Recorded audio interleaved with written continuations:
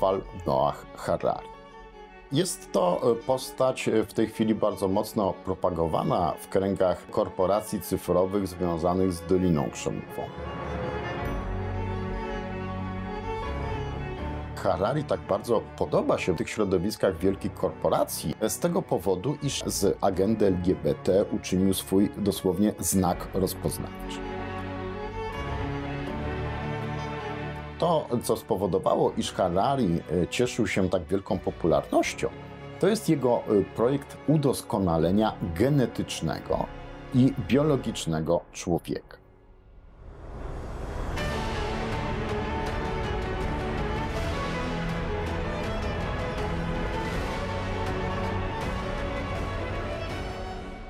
Harari jest z wykształcenia historykiem, profesorem historii na jednym z uniwersytetów w Izraelu.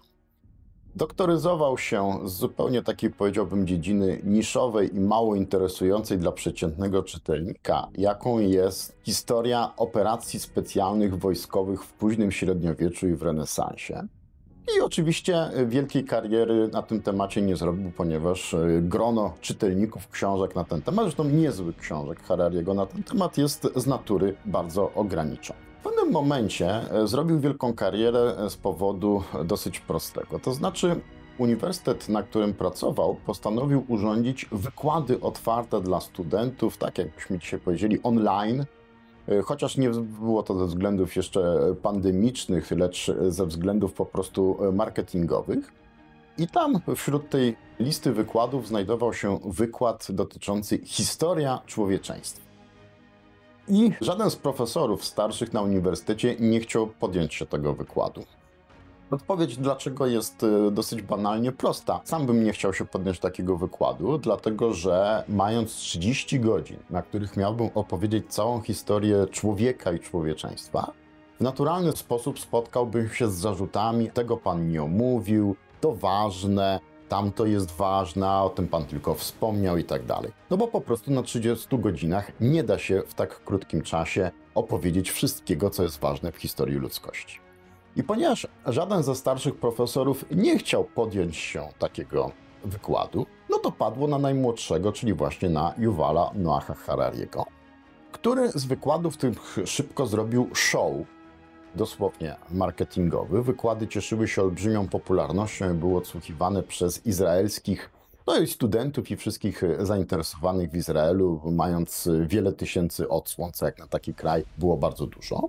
Dlatego też Harari zdecydował się te wykłady te spisać w formie książkowej i w ten sposób powstała jego pierwsza książka Sapiens – Historia ludzkości. Książka Sapiens jednakże przez bardzo, bardzo długo nie mogła się ukazać, dlatego że poszczególne wydawnictwa izraelskie uznawały, że praca jest nienaukowa, publicystyczna, upraszczająca wszystko i mówiąc wprost, dosyć tandetna. W końcu jedno z wydawnictw zdecydowało się opublikować, a później Harariemu udało się tą książkę opublikować w języku angielskim. I dopiero publikacja książki w języku angielskim uczyniła go sławny. Z tego powodu, że znalazła się w Stanach Zjednoczonych grupa wpływowych ludzi, która uznała, że myśli Harariego są im bardzo bliskie i Harari propaguje różne bliskie im idee. Któż jest w tej grupie? Grupa ta, nazwijmy to w ten sposób, y, to są przede wszystkim tak zwani transhumaniści, wielcy biznesmeni, właściciele z Doliny Krzemowej, wielcy właściciele firm internetowych.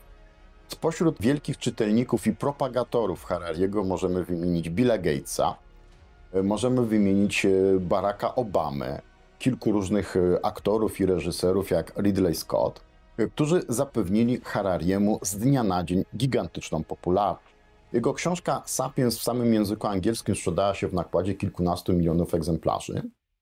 Z dnia na dzień Harari stał się niezwykle popularny i przede wszystkim propagowany jest w środowiskach politycznych o takim bym powiedział nastawieniu lewicowo-liberalno-antyklerykalnym z jednej strony, a z drugiej strony został spopularyzowany przez wielkie korporacje międzynarodowe, szczególnie korporacje cyfrowe. Harari już drugi raz został zaproszony na wygłoszenia referatu, speechu, czy jakbyśmy to nazwali, na Światowym Forum Ekonomicznym w Davos. Został już dwukrotnie zaproszony przez Klausa Schwaba. I niektórzy mówią, i myślę, że nie jest to pogląd do końca nieprawdziwy, że właściwie poglądy Klausa Schwaba i Yuvala Noaha Harariego w pewien sposób się uzupełniają. W pewien sposób, dlatego że Harari oczywiście nie jest ekonomistą i nie tworzy programów ekonomicznych globalizacji i globalizmu. Harari przede wszystkim jest ideologiem tego systemu, który tworzy pewną wizję człowieka, człowieka epoki globalizacji i globalizmu. Zacząć można od pewnej, nawet już na samym początku, postaci Harariego. Jest on jakby zaprzeczeniem wszystkiego tego, wszystkich tych idei, których te wielkie międzynarodowe korporacje i globaliści nie lubią. Dlatego, że Harari po pierwsze jest Żydem i obywatelem Izraela. Chociaż powiedzmy sobie szczerze, jego samoświadomość bycia Żydem jest niewielka, dlatego że jest on kosmopolitą absolutnie doskonałym, który nie czuje się związany z żadną tożsamością narodową ani z żadnym krajem z żadnym państwem. Równie dobrze może mieszkać w Izraelu, w Stanach Zjednoczonych, Afryce czy gdziekolwiek indziej. Zgodnie z taką maksymą rzymską ubi bene i patria, gdzie dobrze tam ojczyzna.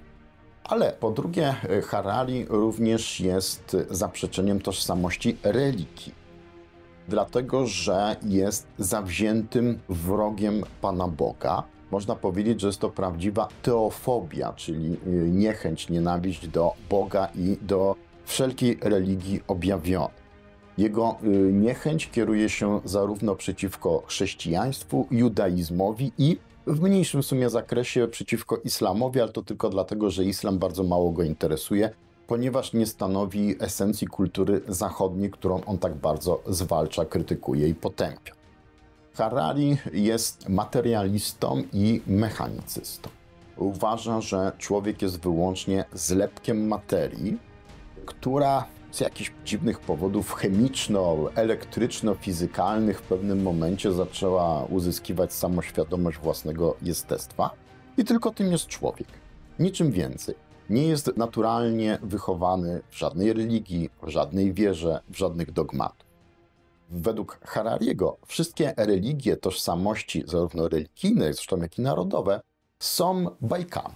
Są bajkami stworzonymi przez wielkie e, grupy ludzkie, które przeszły przez coś takiego, co on nazywa sam rewolucją kognitywną. To znaczy rewolucją polegającą na tym, że człowiek uzyskał możliwość wypowiadania się, uzyskał możliwość wydawania dźwięków, tworzenia słów, zdań i wypowiadaniu w ten sposób myśli. Zdaniem Harariego człowiek tym się różni od małpy i tylko tym się różni od małpy, że stada małp zwykle liczą 50, 100, 150 osobników.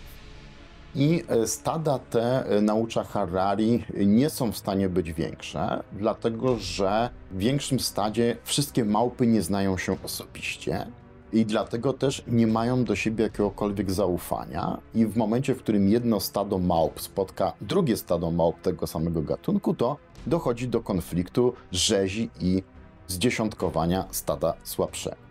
I mówi Harari, człowiek tym się różni od małpy, że stworzył mowę, stworzył tożsamości religijne, plemienne i narodowe. Dlatego też horda ludzi spotykająca drugą hordę ludzi nie morduje jej, nie zwalcza, ponieważ nagle się okazuje, że wierzą w tego samego Boga czy w bogów, zaliczają się do tego samego plemienia lub narodowości. dlatego według Harariego człowiek zrobił wielką karierę i opanował świat, a małpy, no niestety trzymamy je w tej chwili w klatkach i oglądamy w cyrku. I to jest jedyna różnica pomiędzy człowiekiem a małpą. Mowa naucza Harari.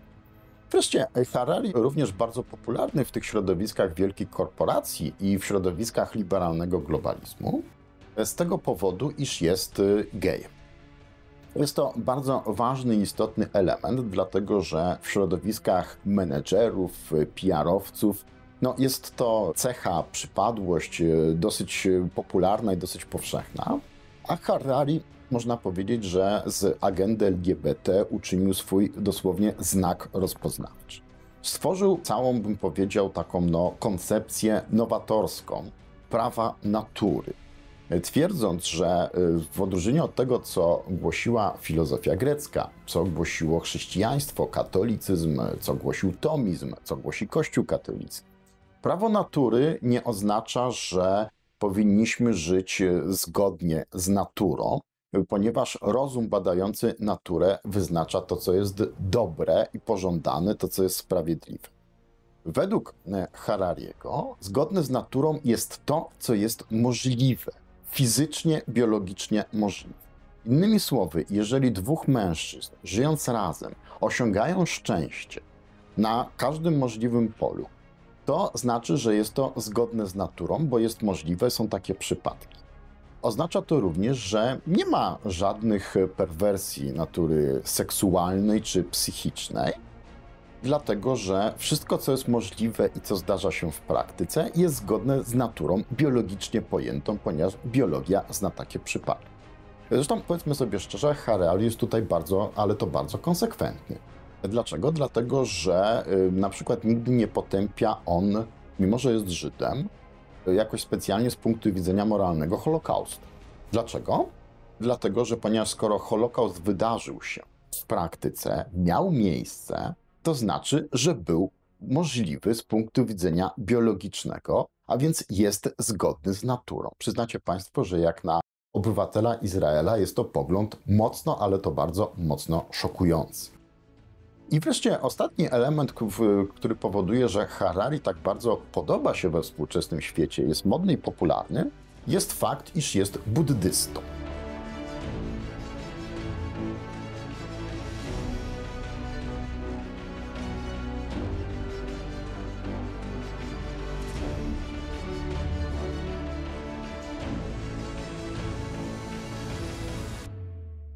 Pod pojęciem buddyzmu nie należy tutaj rozumieć jakiekolwiek systemu filozoficznego czy y, gdzieś tam podchodzącego pod wiarę religijną.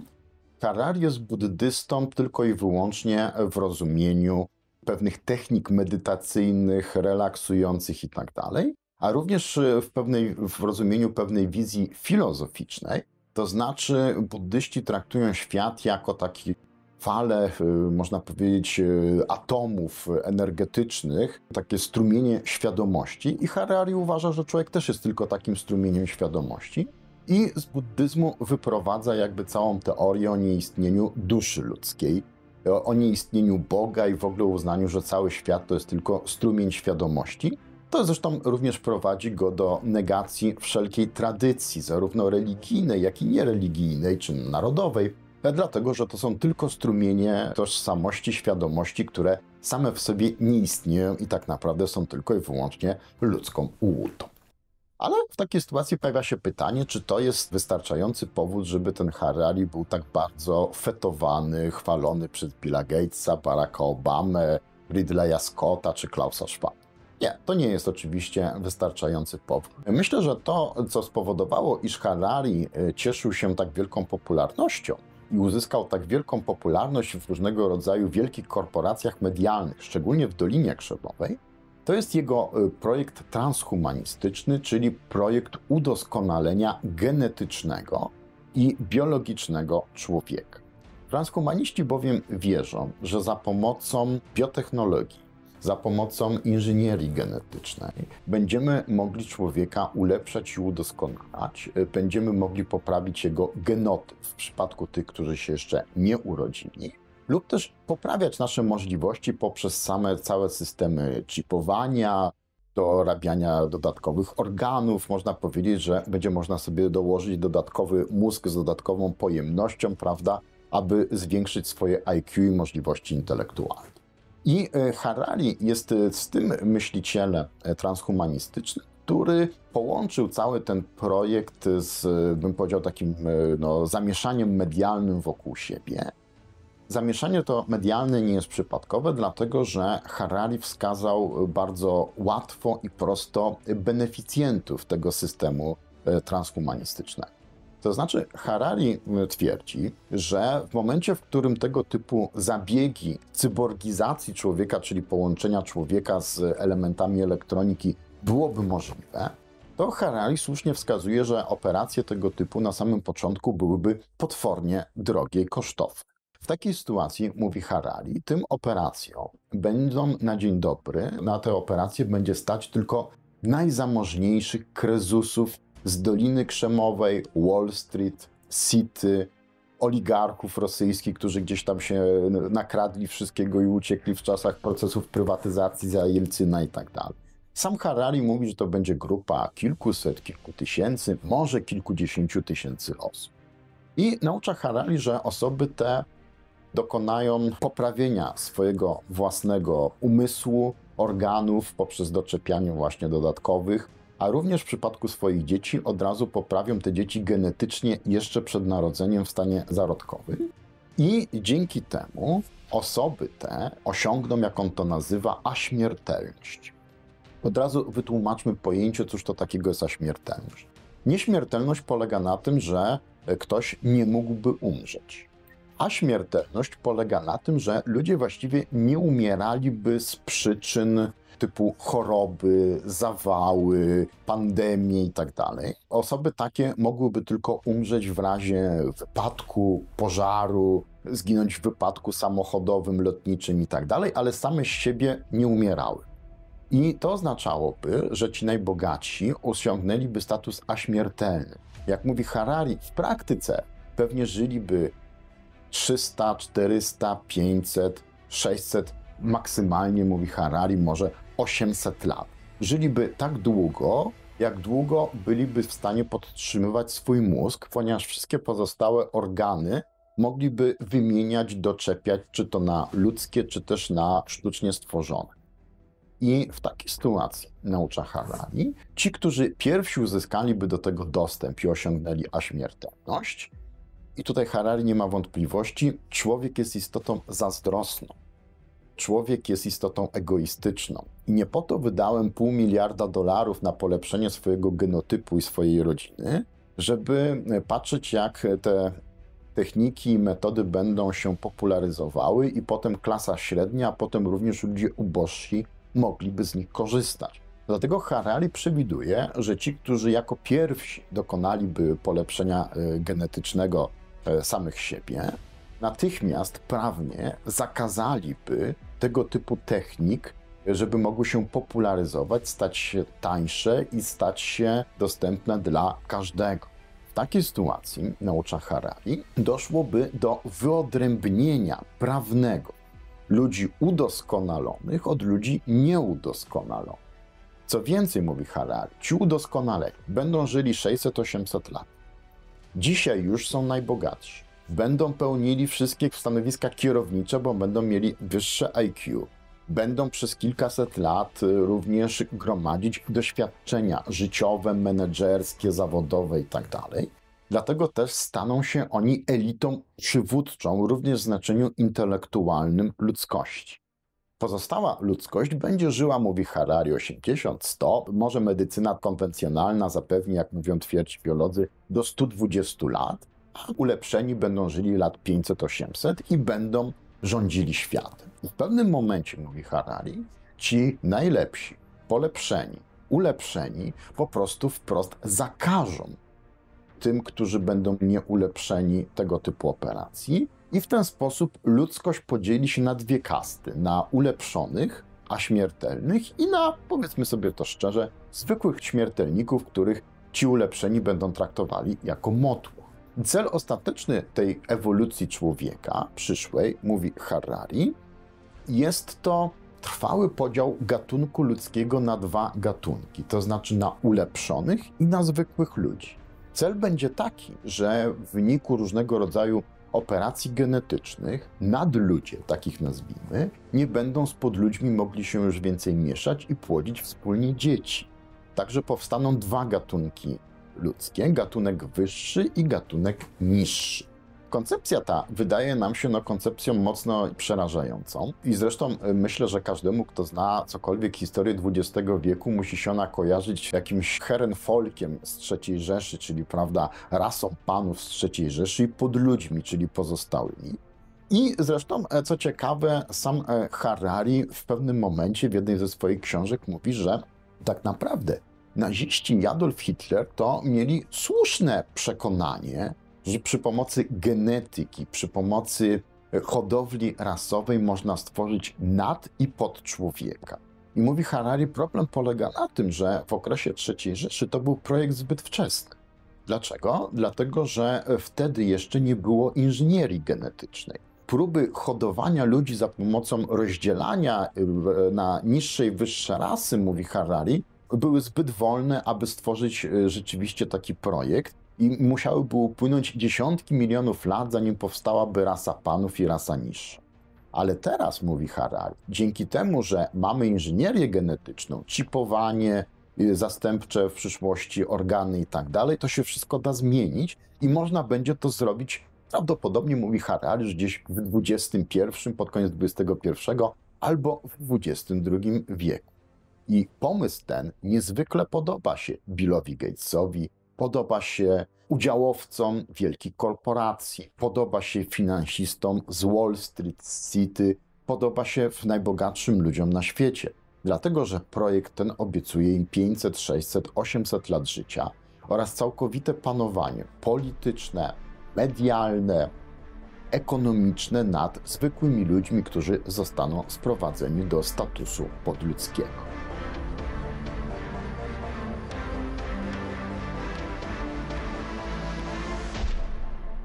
Cała wizja Harariego oczywiście jest przygnębiająca i możemy się troszeczkę w tej wizji czuć jako no, zwierzęta w i takie ludzkie zoo, które chcą nam urządzić miliarderzy z Doliny Krzemowej, Wall Street i City. Pamiętajcie Państwo, że to, czy e, uda się tym ludziom taki projekt e, stworzyć i rzeczywiście wyprodukować rasę nadludzi, a nas sprowadzić do rasy podludzi, zależy tylko od nas dlatego że to zależy przede wszystkim od tego, czy oni potrafią nam wmówić to, że działają dla naszego obiektywnego dobra, czy też będziemy protestować, będziemy pilnować tego, co jest podstawą zarówno chrześcijaństwa i katolicyzmu rzymskiego, a mianowicie, że wszyscy ludzie zostali stworzeni jako istoty równe w obliczu Boga, jako dzieci Boga, jak również podstawowej zasady systemów liberalno-demokratycznych że wszyscy ludzie są równi wobec prawa, że wszyscy ludzie mają równy dostęp do opieki medycznej. To są e, elementy, które, jak widać, są niezwykle istotne. I to, co Harari tak naprawdę robi i co chce zrobić, to za pomocą swoich książek wmówić nam, że przyszłość, którą dla nas zaplanował, jest to przyszłość naukowa, bezalternatywna i czy chcemy, czy nie chcemy, musimy się jej poddać.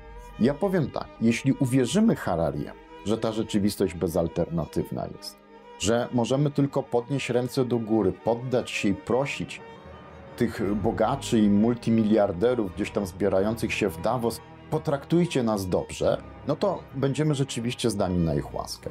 Dlatego od nas tylko zależy, czy to oni urządzą nam świat, czy my będziemy jego gospodarzami.